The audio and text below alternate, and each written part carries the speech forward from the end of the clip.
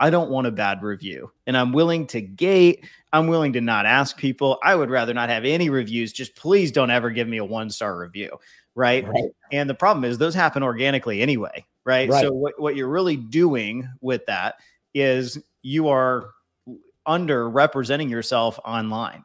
When you don't ask for public reviews, you are underrepresented online. You're going to get some negative bad ones, especially on recon mm-hmm. jobs or things you can't control right in the yep. restoration space. Yep. It is yep. going to happen. So our kind of counter to that is look, you have to play offense and be really great about getting reviews from your happy customers. And so we've got a methodology to do that. And you know, overall, uh, Ben, I think a lot of businesses they would love to be a 5.0 and never get a bad review. And I think that is a fallacy. You need to be at like a 4.5 to 4.9 kind of company that mm-hmm. has some things people want to see what goes wrong.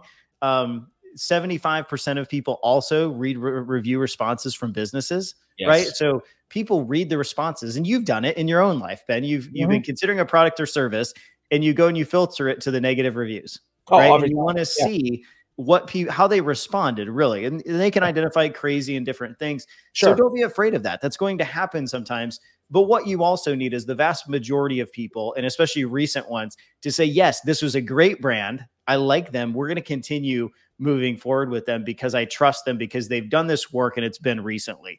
And so i always tell people look you can you can be a company that has 10 reviews this year at five stars and that's not really going to help your company as much, even though it feels okay.